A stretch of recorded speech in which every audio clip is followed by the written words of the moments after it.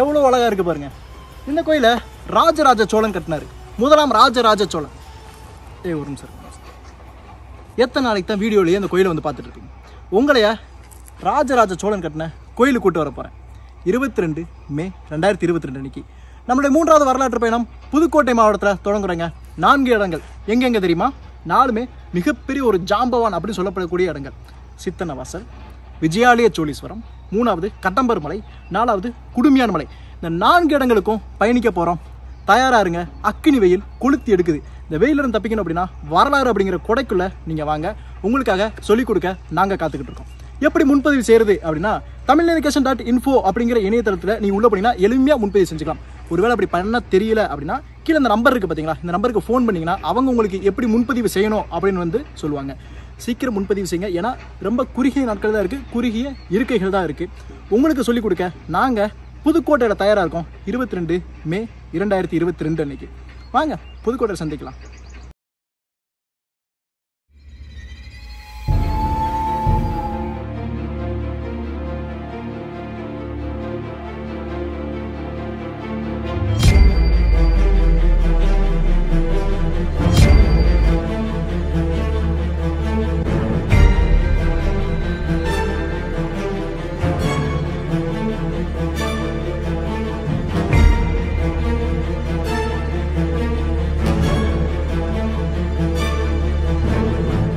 மானம் அந்த சைடில் நிற்க பாருங்க நேரம்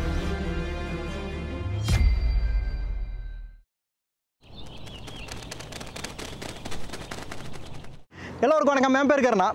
இப்போ நான் தூத்துக்குடி மாவட்டத்தில் திருவைகுண்டம் அப்படிங்கிற தாலுகா கீழே இருக்கிற வல்லநாட்டில் இருக்குங்க. இந்த வல்லநாடு ரொம்பவே அழகான ஒரு கிராமம். அதே நேரத்தில் ஒரு சரணாலயத்தையும் வச்சுருக்கு.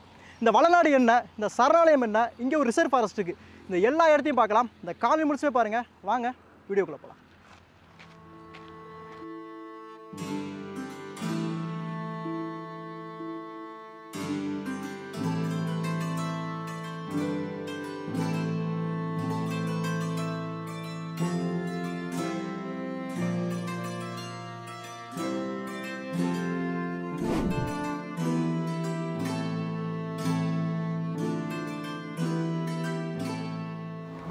வல்லநாடு மான்கள் சரணாலயங்க. சரி இது ஒரு காடு சரணாலயம். இதை நான் சொல்கிறத விட இந்த காட்டோட வல்லநாட்டோட வனவர் அண்ணன் கண்ணன் அண்ணன். எப்படி இருக்கீங்கண்ணே? ஆ நல்லா இருக்கேன் அண்ணனே வந்து உங்களுக்கு விளக்குவாங்க.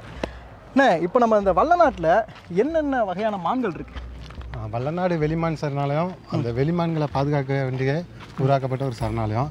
அதனால் அதோட கீ பீசியஸ் சொல்லுவாங்க. முக்கியமான உயிரி வெளிமான் தான். வெளிமான் அது போக மான் இனத்தில் வந்து மிலா கடமான்னு சொல்லக்கூடிய மிலா இருக்குது. லோக்கலில் மிலான்னு சொல்லுவாங்க. அதுக்கப்புறம் புள்ளிமான். புள்ளிமானுங்கிறது எல்லாத்துக்கும் பொதுவாக தெரியும். ஆனால் அந்த வெளிமானுங்கிறது ஒரு புது பேராக இருக்கும். ஆ, வெளி ஏன் வெளிமான் ஏன் சொல்கிறோம் வெளிமான்கிறது வந்து அது பொதுவாக வந்து ஒரு புதர் பகுதியிலோ ஒரு மலைப்பகுதியிலோ இல்லாமல் அதோட இறை ஃபுல்லாக வந்து வெளிப்பகுதியில் இருக்கும். ஓ வெளிப்பகுதியில் இருக்குது ஓப்பன் பிளேஸ் ஓப்பன் பிளேஸில் இருக்கனால அதை வந்து வெளியில் மேயறனால அதை வெளிமான் வெளிமான் அப்படின்னு சொல்றாங்க. சங்க காலத்தில் இதுக்கு நிறைய பேர் இருக்குது பொதுவாக கலைமான்னு சொன்னால் சில பேருக்கு தெரியும். கலைமான். இப்போ தூத்துக்குடி மாவட்டத்தாலே தூத்துக்குடியில் காடு இருக்கா அப்படின்னு சில பேர் கேட்குறாங்க இந்த வல்லநாடு என்னென்ன இருக்குங்க இங்கே விலங்குகள்? நிறையா இருக்குது முக்கியமாக வந்து முள்ளமன்றி எறும்பு தண்ணி எறும்பு தண்ணி நரி. அது போக வந்து மலைப்பாம்பு வந்து நாங்கள் வந்து ஒவ்வொரு வருஷத்துக்கு வந்து நூறுலேருந்து நூற்றம்பது மலைப்பாம்பு வந்து நம்ம 150 தாமரை தாமிரபரணி ஆற்றங்கிற பெட் இருக்குல்ல ரிவர் ரிவர் பெட்டில் வந்து மீட்டு வல்லநாடு ரிசர்வ் ஃபாரஸ்ட்குள்ளே தான் விடுறோம் அந்த காட்டுக்குள்ள தான் வர்றீங்க உள்ள. ஆமாம் ஓ ஓகே ஓகே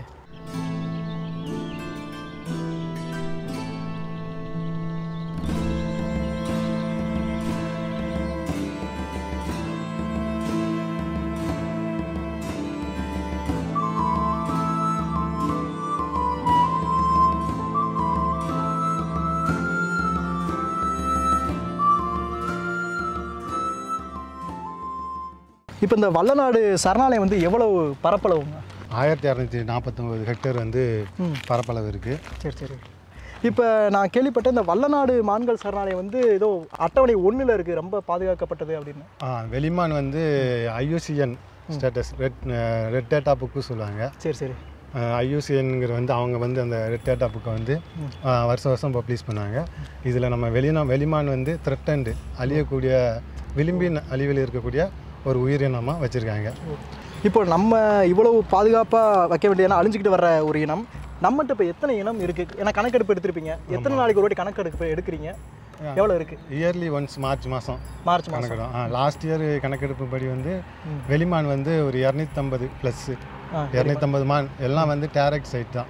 நேரடியாக பார்த்து தன்னா தன்னார்வலர் வர்றாங்க என்ஜிஓஸு அப்புறம் காலேஜ் ஸ்டூடெண்ட்டு ஆர்வமில் இந்த ஸ்கூல் ஸ்டூடெண்ட்டு அப்புறம் சயின்டிஸ்ட்டு சரி சரி. இவங்கெல்லாம் கூப்பிட்டு ஒவ்வொரு சைடும் ஒரு குழுக்களாக பிரித்து காலையில் ஒரு தடவை ம- மதியம் ஒரு தடவை ஈவினிங் ஒரு தடவை. இதே மாதிரி ரெண்டு நாள் தொடர்ந்து இவ்வளோ இருக்குன்ட்டு இவ்வளோ இருக்குது நம்ம எடுத்துடுறோம். க- கணக்கெடுப்போம். சரி ஆ, ஒவ்வொரு வருஷமும் ஒரு டென் பர்சன்டேஜ் டுவெண்ட்டி பர்சன்டேஜ் வந்து மானியம் கூட்டிகிட்டு தான் வருது. நான் பார்த்தேன் நான் உள்ளுக்குள்ளே க உள்ளே போய் பார்க்குறப்ப நிறைய இடத்துல தண்ணி இருக்குது இந்த மாதிரி நிறைய மோட்ரு வந்து வச்சுருக்கிறீங்க. கோடை காலத்தில் தண்ணி வற்றி போயிடும் சரி சரி. அப்போ வந்து அதை நிரப்பதுக்காண்டி இப்போ கோடை காலத்தில் தண்ணியை வற்றி போச்சுன்னா நீங்கள் தண்ணி வெளியே இருந்து கொண்டு உள்ள ஆமாம் சோலார் மோட்ரு இருக்குது ஆயில் மோட்ரு இருக்குது அதை வச்சு போய் நம்ம ரெண்டு நாளுக்கு ஒரு தடவை ஒரு தடவை.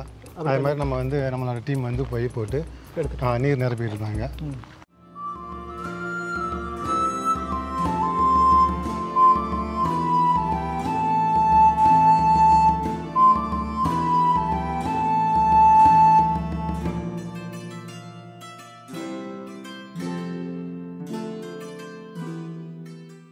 இங்கே நிறைய மான்கள் இருக்குது அதுபோக நிறைய உயிரினங்கள் இருக்குல்ல. என்னென்ன பாதுகாக்கிறதுக்கு நடவடிக்கைகள் இருக்கீங்க என்ன எடுத்திருக்கீங்க இதுக்கு முன்னாடி? பாதுகாக்க வந்து ரெகுலர் பேட்ரோலிங். இருக்குது சாஞ்சுரி மட்டும் இல்லாமல் அவுட் ஆஃப் சாஞ்சுரி சுற்றி உள்ள ஏரியாவில் வந்து டேல ரவுண்ட்ஸ் போகுது நைட் ரவுண்ட்ஸு. பண்டிகைக்கு ரெண்டு நாளுக்கு முன்ன கட்டி நம்ம டீம் வந்து ஸ்பெஷல் பேட்ரோலிங் போவாங்க.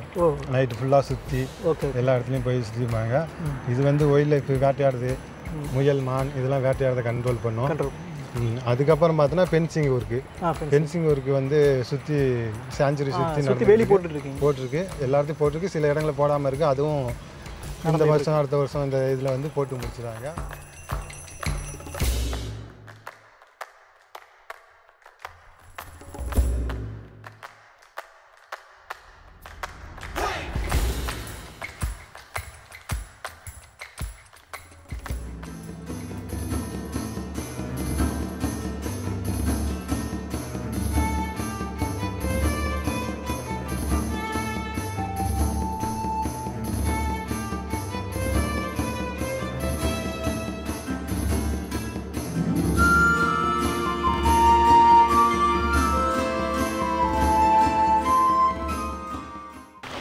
அந்த வல்ல நாட்டில் இருக்கக்கூடிய ஒரு பகுதி என்ன அப்படின்னா வங்களா சராகம் அப்படின்னு சொல்கிறாங்க இந்த இடத்த அதாவது இந்த மலையை சுற்றி நிறைய இடங்களில் வந்து நீர்த்தேக்கங்கள் வனத்துறை அமைச்சு கொடுத்துருக்குறாங்க. இங்கே இருக்கிற மான்களுக்காண்டி சரிங்களா? நீங்கள் பார்த்துட்டு இருக்கிறீங்க. இது வந்து ஒரு சின்ன ஒரு நீர்த்தேக்கங்க. நாங்கள் இப்போ வர்றப்ப கூட இங்கே நிறைய மான்கள் வந்து தண்ணி குடிச்சிட்டு போயிட்டு இருந்தது. பார்க்குறதுக்கு அவ்வளோ அழகாக இருந்துச்சு. கோடை காலத்துலேயும் இந்த இடம் நல்லாவே வந்து மான்களுக்கு தண்ணி தருது. இப்போ நம்ம வள்ளநாட்டில் இப்போ நம்ம இந்த இருக்கிற இடம் இதுக்கு பேர் என்ன சொல்கிறாங்க அப்படின்னா கரடி ஊத்து அப்படிங்கிறாங்க. இந்த மலை மேலேருந்து வரக்கூடிய ஒரு ஊத்து. இந்த உள்ளூர் மக்கள் இதுக்கு என்ன பேர் சொல்கிறாங்க அப்படின்னா வாகமர தொட்டிங்கிறாங்க. இந்த இடத்துல தான் வந்து இந்த மான்கள் மிலா எல்லாமே இந்த இடத்துல வந்து தண்ணி குடிக்கும். நிறைய உயிரினங்களுக்கு இதுதான் ஒரு நீர் ஆதாரமாக இந்த மலையில் வந்து விளங்கிட்டு இருக்கு.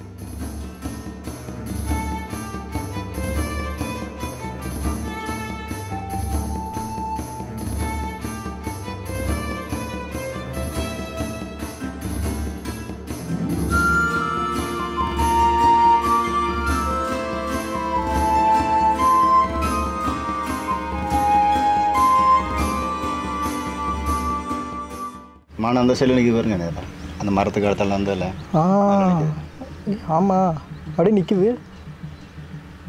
டெய்லி இந்த வாட்ச் டவர்லேருந்து தான் பார்ப்பீங்களோ ஆமாம் வந்து இதுலேருந்து தான் வாட்ச் பண்ணுவாங்க அது ஒரு குட்டி மாதிரி இருக்கே.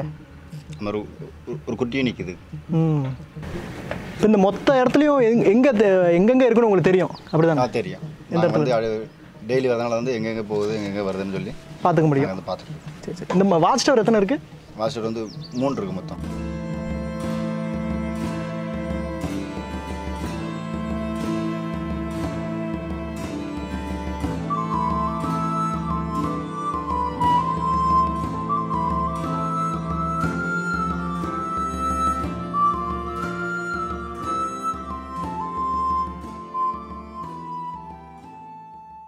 நம்ம ஒரு மான் இப்போ பார்த்தோம்ல ஆமாம் அதில் அது கொம்பு ரொம்ப பெருசாக இருக்கு. இன்னொன்று சின்னதாக இருக்கே ஏன்? அது வந்து ஆண் மானில் வந்து நல்ல முதிர்ச்சி அடைஞ்ச மானுக்கு வந்து கொம்பு வந்து நல்ல டைட்டாக தெரியும். அதாவது ஆண் மானுக்கு மட்டும்தான் இருக்குமா? இல்லை பெண் மானுக்கும் கொம்பு இருக்குமா? இல்லை ஆண் மானுக்கு மட்டும் தான் கொம்பு இருக்கும். ஆ சரி பெண் மானுக்கு வந்து கொம்பு இருக்காது. கொம்பு இருக்காது. ஆமாம் ஆ. நீங்கள் அதை வச்சா கண்டுபிடிக்கிறீங்களா? ஆண் மான் இது பெண் மான் ஆ ஆமாம் சரி சரி. இது வந்து வெளி மானுக்கா இல்லை எல்லா மானுக்குமே கொ- ஆண் மானுக்கு மட்டும்தான் கொம்பு இருக்குமா? இப்போ மிலா ஆமாம் மிலா ஆண் மானுக்கு கொம்பு இருக்குமா?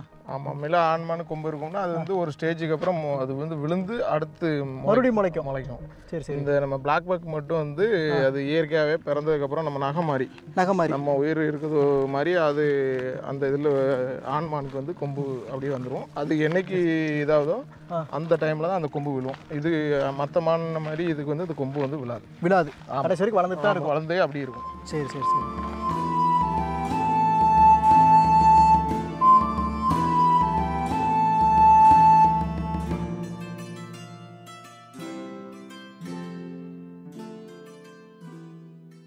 இந்த வல்லநாடு மான்கள் சரணாலயம். கிட்டத்தட்ட நான் மூன்று நாட்கள் இங்கே தங்கி வந்து இதை வந்து ஷூட் பண்ணியிருக்கோம்.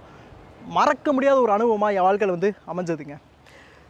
இந்த காட்டை பற்றி எல்லாருக்கும் கொண்டு போய் சேர்க்கணும். இதை பற்றி விழிப்புணர்வு வேணும் அப்படின்னு தமிழ்நாடு வனத்துறை வந்து விரும்புனாங்க என் மூலமாக உங்கள்கிட்ட கொண்டு வந்தும் சேர்த்துருக்குறாங்க.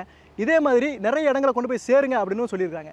இந்த வாய்ப்பை நம்ம கழிச்ச தமிழ்நாடு வனத்துறைக்கு மிக்க மிக்க நன்றிங்க. அது மட்டும் இல்லை டிஎஃப்ஓலேருந்து ரேஞ்சர்லேருந்து ஃபாரஸ்ட்லேருந்து எல்லாருமே நிறைய வந்து உதவி செஞ்சாங்க. மூன்று நாட்கள் கூடயே ஒரு ஜீப்பில் வந்து பயணம் செஞ்சு இவ்வளோ தகவல் உங்களுக்கு நான் கொடுக்க முடிஞ்சது அப்படின்னா அது வனத்துறை தான் முக்கியமான காரணம். அவங்களுக்கு கண்டிப்பாக நன்றி வந்து தெரிவிச்சுக்கிறேங்க. இந்த வீடியோவை நீங்கள் நிறைய பேருக்கு ஷேர் பண்ணுங்கள் ஏன்னா தூத்துக்குடியில் ஒரு வளநாடு இருக்குது அந்த வளநாட்டில் இவ்வளோ மான்கள் இருக்குது இவ்வளவு வாழ்க்கை இருக்குது அப்படின்னு எல்லாருக்குமே தெரியணும் இந்த வரலாறு என்று பகிரப்பட்டால் மட்டும்தான் இந்த வரலாறு அடுத்த தலைமுறையினரால் அறியப்படும். இணைந்தேருங்க இதே மாதிரி நமக்கு தெரியாத நமக்கு தெரிந்தும் உள்ளே போக முடியாத பல இடங்களை உங்களோட கொண்டு வந்து நான் சேர்க்குறேன். அடுத்த ஒரு பயணத்தில் சந்திக்கலாம். நன்றி.